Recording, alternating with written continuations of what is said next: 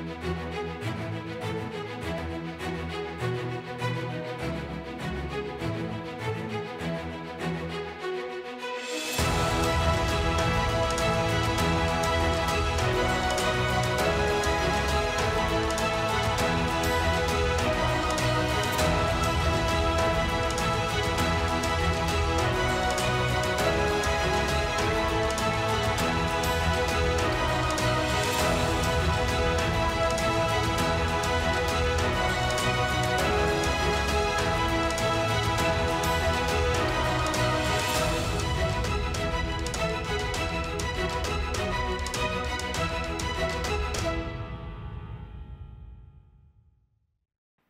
everyone, and a very warm welcome to the 2021 Cundill History Prize winner ceremony, wherever you are in the world. My name is Nahlah Ayed, and I'm delighted to be your host for today's event, the finale of the 2021 Cundill History Prize season. My show, CBC Radio's Ideas, is a media partner of the leading international prize for history writing, and it's a pleasure to help bring this ceremony to you today. I'm here in the Montreal Museum of Fine Arts, the traditional venue for the Cundill History Prize Gala. It's a wonderful place, home to bold original exhibitions throughout the year, from fine arts to music and film, from fashion to design. But today, history is the star. We will be welcoming the three 2021 finalists. Rebecca Clifford joins us from the UK, Mary Favereau from France, and Marjoleine Kars from the United States. The three of them will be in conversation with the celebrated broadcaster and history hit host, Dan Snow. You will also hear from the 2021 jurors. Eric Foner, DeWitt Clinton Professor Emeritus of History at Columbia University.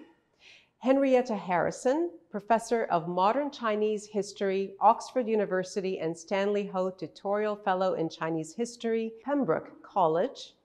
And Sunil Khilnani, professor of history and politics at Ashoka University, Sonipat, and Jennifer L. Morgan, professor of history in the Department of Social and Cultural Analysis at New York University. And of course, their 2021 chair, historian, author, academic, and former leader of the Liberal Party of Canada, Michael Ignatieff.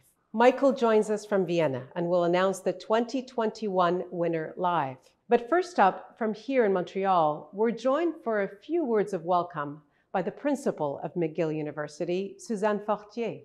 McGill has administered the prize since its inception in 2008. Welcome, everyone, and hello from Montreal. Bonjour et merci de vous joindre à nous. In 2008, McGill University alumnus Peter Cundill endowed what has since become one of the premier literary prizes in the world. 14 years on, McGill is proud to be the home of the Cundill History Prize. As we celebrate our bicentennial and launch our university into its third century, we continue our mission of creating and sharing knowledge. Here at McGill, we welcome students and scholars from around the globe and strive to promote equity, diversity, and inclusion. We recognize that scholarship transcends borders, so it is fitting that the Cundill Prize is open to books and authors from anywhere in the world. Much in the same spirit, the Cundill History Prize plays a vital role by championing the dissemination of historical knowledge that bridges differences and builds understanding. Nos autrices finalistes et leurs ouvrages incarnent tout particulièrement cet ambitieux et important projet. I'm delighted to see the Cundill History Prize welcoming more diverse audiences every year. As we seek out and share books that will make a real impact, it is rewarding to have the public so engaged and excited. The continued success of the Cundill History Prize rests upon the shoulders of many alumni, friends, and supporters. In particular, I want to recognize the Peter Cundill Foundation and the Advisory Committee. My thanks to all of you. Merci à tous d'être ici aujourd'hui. De la part de McGill et du comité organisateur du prix Cundill, je vous souhaite une excellente cérémonie. And to our three finalists, Bravo and congratulations. Thank you for your remarkable books and good luck from all of us at McGill. The Cundill History Prize does something quite remarkable. Open to works of history in English from anywhere in the world, including translations. It attracts more than 300 submissions every year. A jury of some of the world's most eminent historians gets to work, reading, debating, rereading, and ultimately choosing first a short list of eight, then three finalists, and impossible as it may seem, one winner. What guides them is a set of criteria that puts the bar extremely high. To be a Cundill contender, a book needs to demonstrate mastery of the historian's craft. It's an impeccably documented and well-argued study that would be at home on any academic's bookshelf. Offer a compelling narrative, which, written in lively, engaging prose, can be enjoyed by historians and the general reader alike. And be a game changer, bringing fresh perspective and original findings that significantly change our way of looking not just at the past, but also the present and future. Just how would you go about such a daunting task? Michael Ignatieff will tell us more later.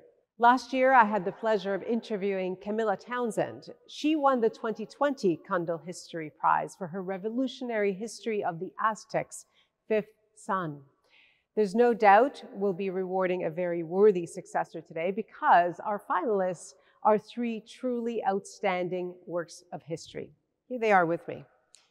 In The Horde, Mary Favereau chronicles the 300 year reign of the Mongol horde and shows how their empire left a lasting trace on the history of Russia, Eastern Europe, Central Asia, and the Middle East.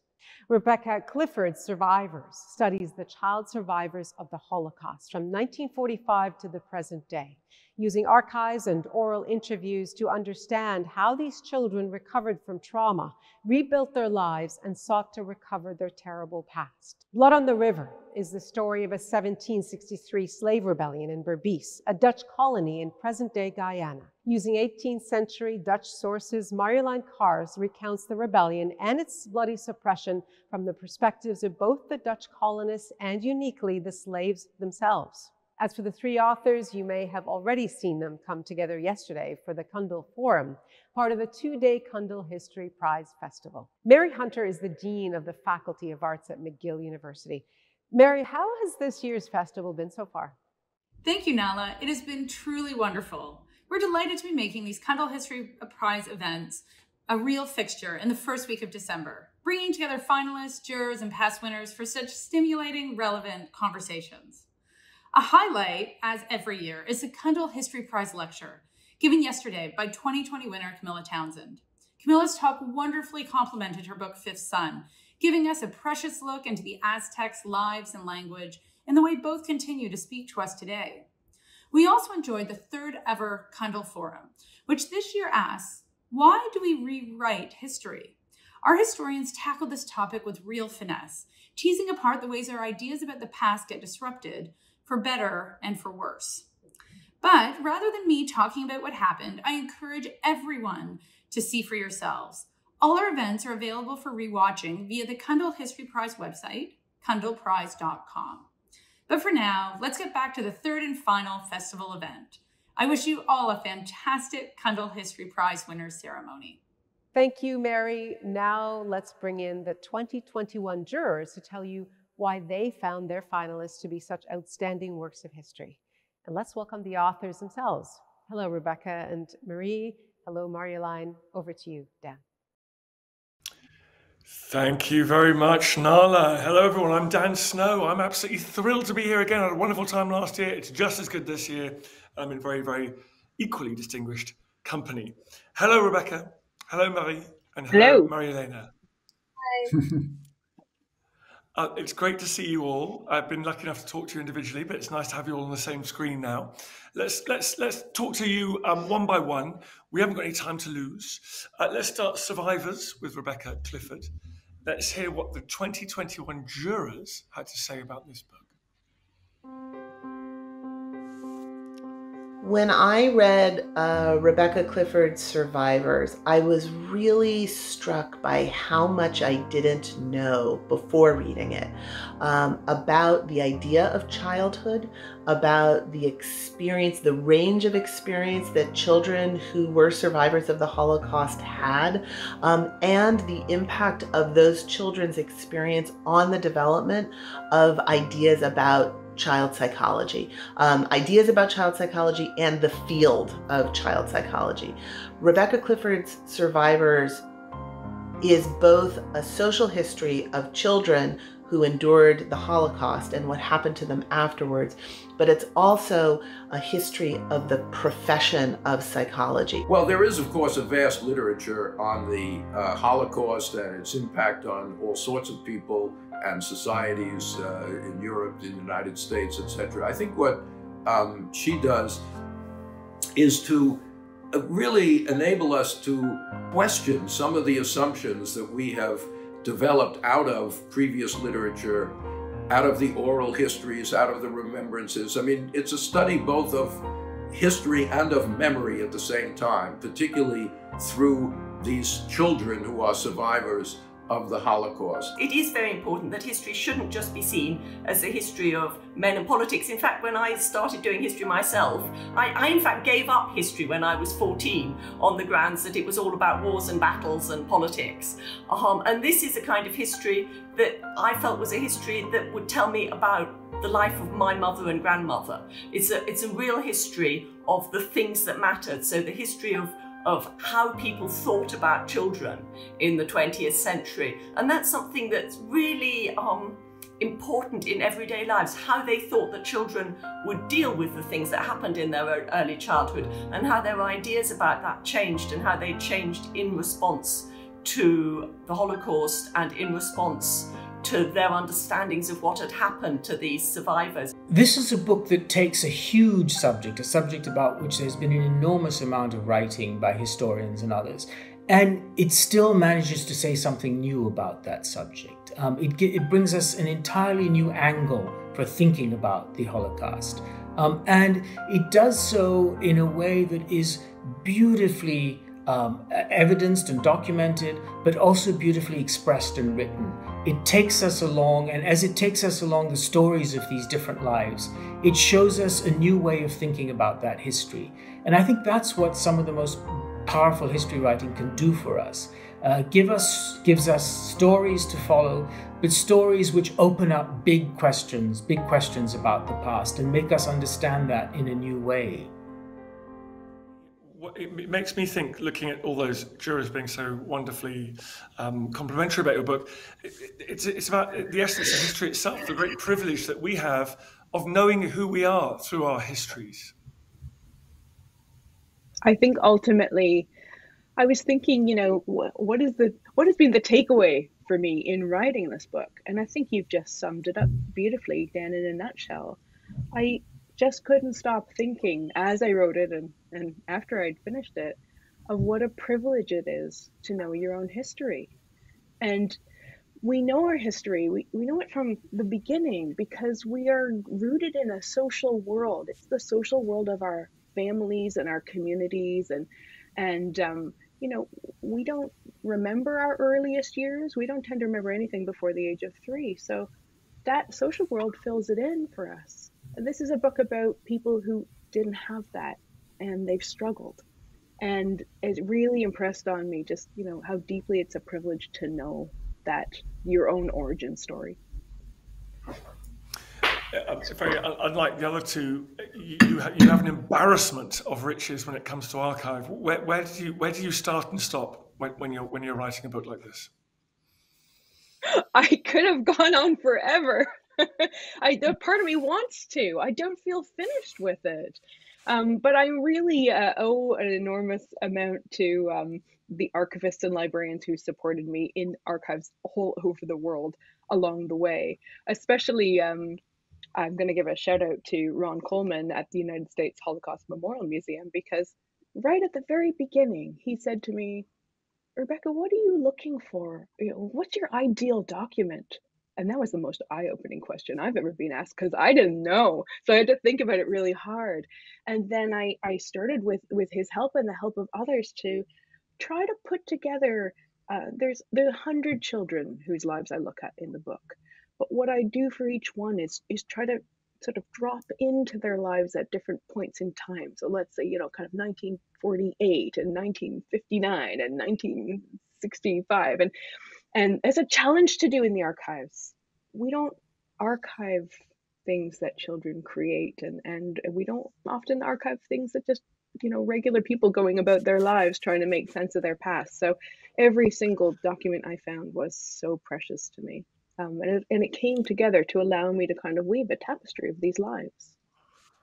Well, Rebecca, you and I have talked about this before, uh, and I've tried saving all my kids' crazy artwork from school now. And, and I'm wondering, I keep thinking, I must do this. Rebecca wants me to do this. I'm like, got stacks of That's useless right. art. But okay, so thank you for making me do that. Rebecca, good luck. Marie, good to see you. you. Let's see what everybody thought about your wonderful book. Marie Favereau's The Horde, sort of, it was a book that crept up on me slowly. When I first approached it, I thought it would be um, far too complicated to follow, too many names, uh, covering 400 years of history, um, uh, and a part of the world that I really didn't know very much about. Um, but she has this extraordinary ability to make this complicated huge span of history comprehensible, and not just comprehensible, but gripping. She changed my view of Genghis Khan and of the um, empire that he created. But Favereau shows that this was a very sophisticated empire, a kind of empire on horseback. Um, that was as interested in trade and in, exchange and, and, in cultivating an area of peace where people could prosper. It was a, a really revelation to read this book for me. The book The Horde succeeds in helping us to rethink what we mean when we talk about a state, political power, political economic authority. Uh, here she takes a, a, subject which is sort of vaguely known by many people interested in history, the Horde, the Golden Horde, uh, and really explains uh, how this these nomadic uh, groups managed to govern and dominate trade in a vast area stretching from uh, China all the way to Russia and Eastern Europe, how their presence uh, affected the history of these different areas, and um, what we mean when we talk about political and economic authority. There's use of Mongolian sources, also a lot of use of Mo Russian sources, because a lot of this is about how the um, the horde operated when it was home in, in Russia, in around Moscow, but then also the languages of Islamic Central Asia. Um, so Persian is also a significant source for for this country. It's it's absolutely spectacular this book in terms of its source, the wide range of its source material, and actually going to the original sources and seeing how people spoke at the time and what they really cared about and how they understood what they were doing. Favereau brings you sort of in and out in terms of, um, you know, like intimate details about the relationship between um, Genghis Khan and his children, uh, but then really big uh, framing details about tax collection and strategic the strategic movement of armies of thousands and ten thousands of people.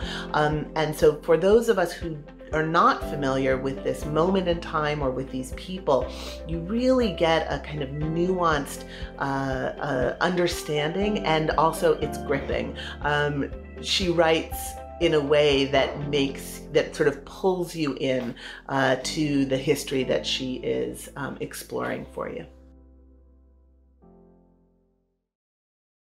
Well, I'm just so happy that I'm not a juror. I can just enjoy your books and talk to you guys. I don't have to make any difficult decisions. It's great. Marie, amazing. You and I geeked out when we met before and we talked a lot about the geography and, and, and uh, the, the physical um, parameters of this empire. Did, how much did you how much did you travel across this massive space? Well, I had to travel a lot, but that was, you know, a lot of fun too. Although when you're a student, sometimes you have to fight, you know, to get your visa and to enter the archive. So I went, of course, to Russia to different places in Russia, Moscow, uh, St. Petersburg. I went to Kazan, which is in Tatarstan today. It's uh, Russia. Mm-hmm. And uh, I also went to Crimea to the archive there. Um, I went to Kazakhstan as well. And actually, I went to um, Vienna, where there's a, a, a fantastic manuscript uh, a, a, letter, I mean, like, um, yeah, manuscript uh, from the Golden Horde. So the, the thing is, there's not one place. If you want to look at the archives of the Horde of this part of the Mongol Empire, you have to look for them everywhere. And uh, yeah, it's uh, it was really, really, really long journey. I have to say. Yeah, well, that, that, that's clear from all the amazing archive you have in there. But I'm also struck by how your your understanding of the landscape changed your uh, understanding of how, how that empire worked as well. Yes, absolutely. Because uh, I, I use the documents. I'm a historian, but I also went there to see landscapes. And even if I know that some rivers' uh, course changed, still it was so interesting to see the river valleys where I discover, I don't want to repeat myself, but still, this was such a shock. I discovered there's water everywhere. It's all about river valleys. And uh, this changed the way I view, I, I envision uh, the Mongols, like, you know, steppe riders. Now they, you know, cross rivers, they, they had boats and, and that, yeah, I think that's very important. Even if you work as a historian on the archives in on earlier earlier period then you have to go and try to see those places monuments also what is left from this past uh, this is very important well, I'm very, very glad you did because you brought it all to life for us and you made me want to get out there and travel across that landscape. So good luck to you, Marie. Maria Elena, we come to you last but not least. Let's hear what all the, the jurors had to say about your wonderful book. This is a book that utilizes a vast archive that has really never been plumbed by historians. The archive of the a, a large investigation of a major slave revolt in the Dutch uh, Guiana uh, area. Um, and uh, it, it really helps us understand, really for the first time, the political mentality of slave rebels. There is a vast literature on slave rebellion, slave resistance uh, in the Americas uh, throughout throughout the northern and uh, southern uh, hemispheres here, and. Um, but uh, because of the nature of the documents she has found, and because of how creatively she uses them, we feel that we hear the voice of uh, these rebellious slaves. Kars's study um, is a study of a small place. And studies of small places sometimes run the risk of being overly narrow or sort of dropping you into a place um, that you can't always see its connections. But Kars is careful throughout to link uh, the, the Berbice rebellion um, both to the revolution that happens in, in Haiti um, and also to the American Revolution. And what you get as a result is a, is, is a clear understanding of the way that ideas about freedom and demands for freedom are saturating the Atlantic world. Kars's uh, Blood on the River uh, is, is beautifully written. It's, it's a, a, a very strong narrative story. Uh, but it's a narrative story that is populated with real characters, and that's very unusual for a work of history of this kind. She's able to use the archive that she finds to um, elicit the actual voices of the characters, both on the uh, side of the enslaved rebels, but also on the Dutch uh, rulers of the colony. And uh, from those voices, she creates characters who are complex, characters who are not simply striving for some great ideal like freedom or who are simply trying to suppress. Uh, characters who are acting from a variety of different motivations. You might call this a niche event, but I really don't think that's a helpful way of looking at history.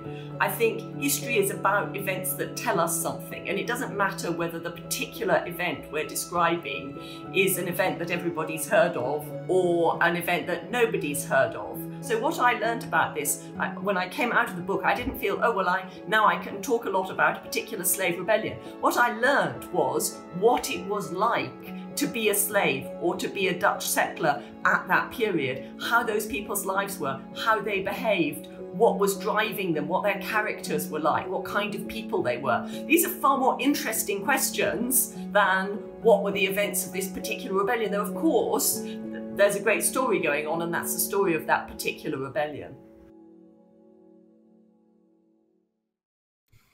Marilena, I loved reading your book and, and the bits of you visiting, like we talked about Marie and we and, and we've talked about um, Rebecca as well, talk, talk, talking and meeting to survivors. You went out there and you visited this site. What I'm desperate to know from you, though, because I've been obsessed with this story and I've been Googling it and trying to read all. What did the historiography look like before you came along? What, what, was, what was our understanding of this slave revolt when you embarked on this project? Well, Dan, there, there is really very little written about it. I mean, it's a rebellion that people know about in Guyana, but outside of Guyana, it's virtually unknown. And when I stumbled upon these records in The Hague, 900 testimonies of people who were questioned as they were being re enslaved when the rebellion, after an entire year, did not work out. I, I was surprised to find that those uh, records had really not been used by anybody but one little master's thesis in, in Dutch. And previous historians in the 19th century and in the 18th century had said, well, who wants to use these records? They're, they're the words of Black people, and we know that we can't trust them. But of course, these records opened up uh, an amazing world. It allowed me to see inside this rebellion and write not only about how rebels and slaveholders fought each other, but how enslaved people related with each other, how they related to each other, how they envisioned their futures, and how their how their visions differed from each other. So it opened up um, a rebellion from the inside out in a in a way that I think we often hadn't seen, because in so many rebellions they were either suppressed right away or those kinds of records no longer exist. And, and, you've been able to just just add a huge chunk of our understanding to the, the history of this Atlantic world and the Atlantic system of the 18th century. Did, did, did but I was struck within Guyana. It's it's it's it's seen as a a, a kind of found, founding event in that in that country.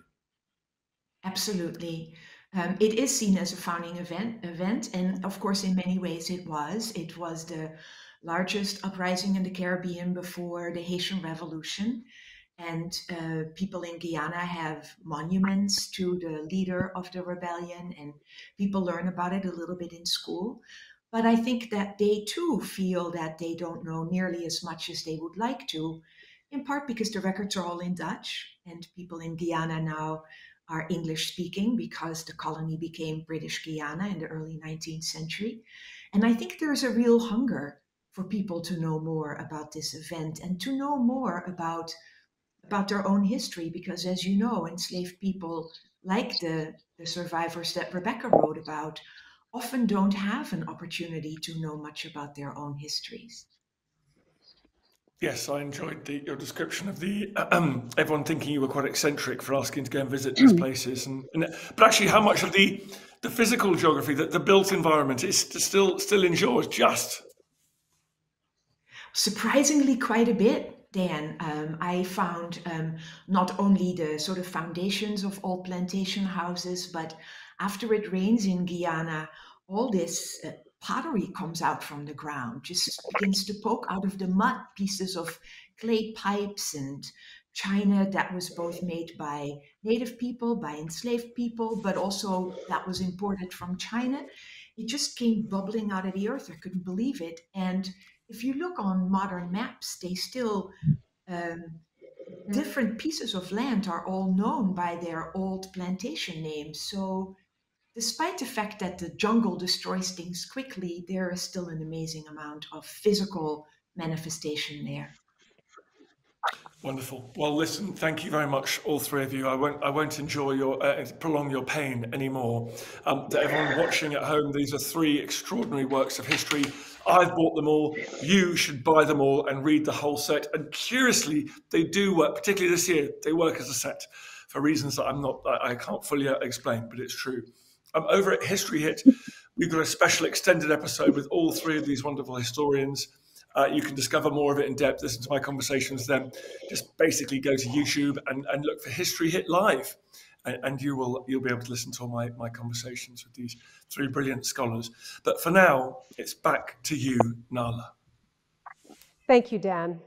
Michael and his jurors have a daunting task in choosing one winner from these phenomenal books.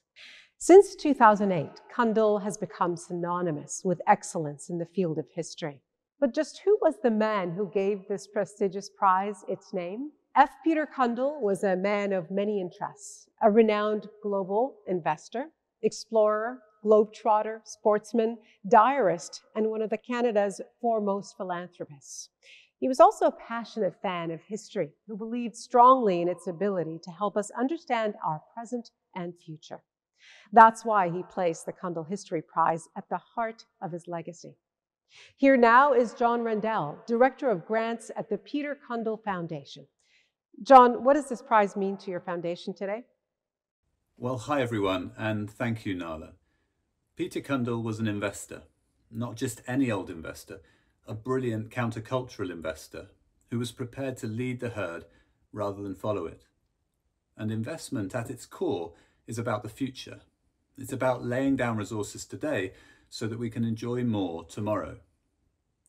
At its foundation, we also see ourselves as investors. We exist to improve the lives of children, and we mainly do that through education. So everything we fund is an investment in the future.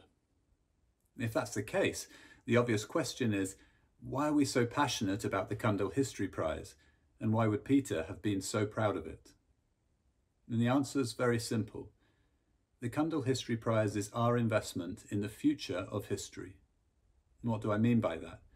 Well, I believe there's a new generation coming through which no longer sees history as a series of glorious victories or moments of national pride.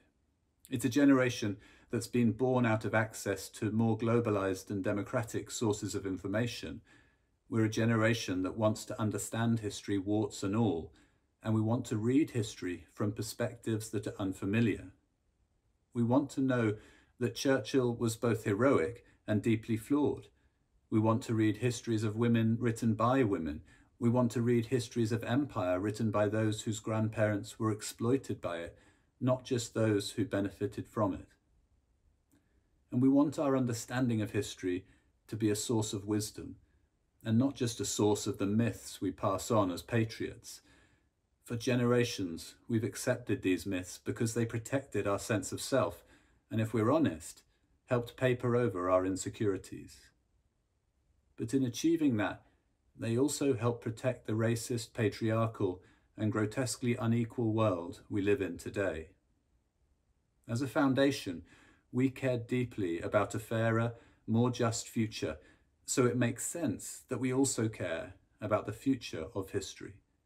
And that's why this prize means so much to us and why we believe the work of each of our brilliant finalists is so important for the world. And now, without any further ado, here is Michael Ignatieff, the 2021 chair of the jury for the Cundill History Prize, to reveal this year's winner. Thank you, Nahlah, and hello, everyone. Your Cundill judges, Eric, Henrietta, Sunil, Jennifer, and I, began the judging process in May of this year. Each year, this prestigious prize receives well over 300 submissions. We took a deep breath, and by June, we'd narrowed it down from 300 to about 50 with the help of a triage committee at McGill University. By August, we'd winnowed the list down to 18. By October, the list had shrunk to eight. And now finally, we've settled on three extremely strong finalists. We did all our discussions on Zoom, by the way, and from start to finish, it was a pleasure. Amazingly, we disagreed very little. Good writing has a way of winning over friends and silencing quarrels. What were we looking for? Since Herodotus and Thucydides, great history has always told a dramatic story about the past that enriches and illuminates our understanding of the present. So we look for powerful narratives that made us rethink what we thought we knew about our own times. But powerful writing alone was not enough. it had to be backed by impeccable scholarship and by the kind of painstaking attention to detail that makes it possible to hear the past speak to us. Three books stood out from all the rest, and you've just heard from their remarkable authors. We were deeply impressed by Rebecca Clifford's history of the child survivors of the Holocaust. What's so remarkable about her book is its understanding that reckoning with the Holocaust for these children has been the work of their entire lives, and for some it's still not finished. These reckonings with tragedy and horror have changed as a life is lived as memories surface, as peace is made with loss. The book is both a history of children, but it's also a history of child psychology and the efforts of adult professionals to make sense of what these resilient but often tormented children were trying to tell them. Marie Favereau's The Horde is a beautifully written, formidably researched history of the Mongols. It upended our understanding of empire here were a conquering people who were nomadic, constantly on the move in huge tent cities that were taken down and moved with the flocks as the Mongols traded, interact, interacted, and governed the peoples of Asia and Eastern Europe. Favereau's book will change how we understand the early history of a lot of countries, all the modern countries touched by the Mongols, in fact, Russia, of course, but also China, Turkey, Southern Europe. And finally, Marjoleine Kars' Blood on the River, the untold story of a slave rebellion that took place in 1762 in Berbice, a Dutch colony on the Atlantic coast of South America. What's astonishing about this story is that the slaves succeeded in driving out the Dutch and ruled the colony on their own for a year. The colony was and the revolt was brutally suppressed. Even more astonishing is that Marjoleine Kars was able to uncover trial documents in the Dutch archives in which we hear so clearly the words, thoughts, even the dreams of the leaders of the slave rebellion itself. History is about giving voice to the voiceless, and in this book, we hear the voiceless speak across the centuries. All three of these were marvelous books, and a sign that history writing has never been more vigorous and exciting. But we had to make up our minds, and the judges, Eric, Henrietta, Sunil, Jennifer, and I, were unanimous in our choice. Superbly researched and narrated, the winning book achieves something remarkable. It transforms our understanding of a vitally important subject, and it tells a story so dramatic, so compelling, that no reader will be able to put it down. The winner of the 2021 Cundill History Prize is Marjoleine Kars for Blood on the River.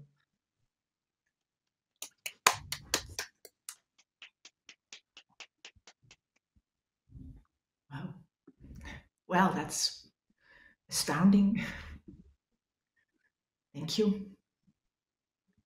Um, I, I, want to start by congratulating my, my fellow finalists who wrote such absolutely fantastic books which of course would have been more than worthy of, of winning this prize, as was in fact every book I think that starting with the long list. Um, and so I'm uh, I'm doubly pleased that the, the jury, which had such a large number of fascinating books to choose from, um, decided to, to give the prize to Blood on the River. I'm, I'm particularly happy that the, the prize went to a book about slavery. Um, which is, after all, one of the foundational institutions of our modern world.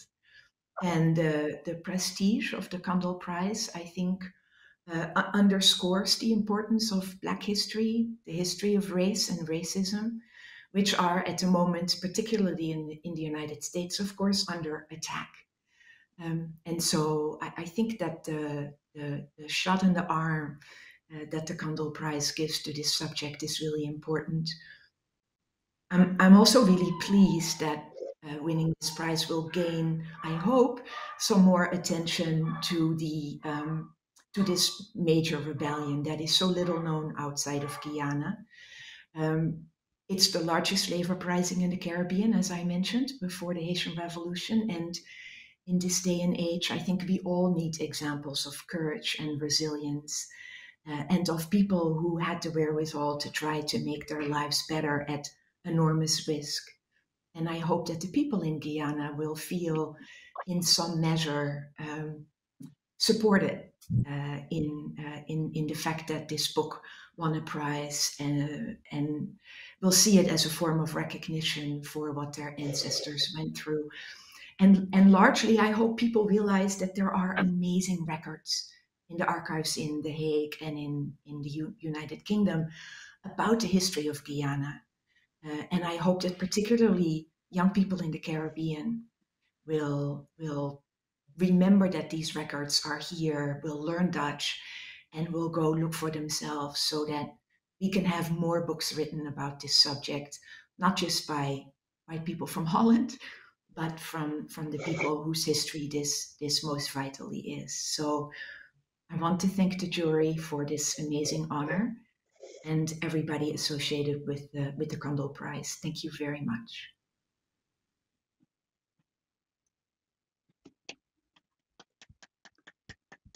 Thank you, Rebecca, and thank you, Marie. Thank you too.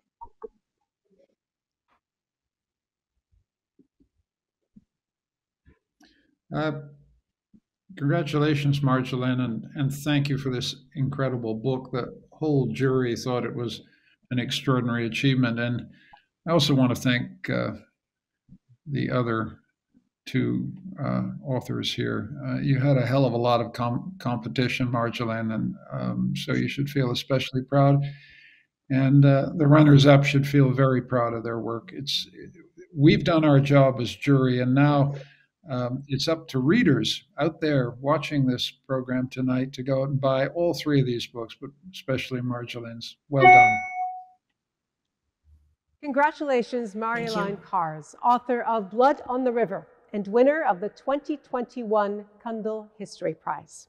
I had the pleasure of talking to Marjoleine for a very special episode of CBC Ideas, and you can catch it this evening at 8, 8.30 in Newfoundland or via our website, cbc.ca slash ideas, or wherever you get your podcasts. This concludes the 2021 Cundill History Prize season, but the planning for 2022 is already underway. Mary, can you give us a little sneak preview? Next year is going to be a very special one for the Cundill History Prize. It's our 15th anniversary, and we certainly have a lot to celebrate. We hope to come together in person again, but be assured that the digital strand of our events is here to stay. You'll be able to join us from wherever you are in the world because the best history content should be accessible to everyone. Do make sure to follow us on Twitter, Instagram, Facebook, and sign up for our newsletter to be the first to hear about our plans, keep in the loop across the prize season. The Cundill History Prize is working with a network of fantastic partners to bring you the finest quality content and events, and I would like to thank all of them here.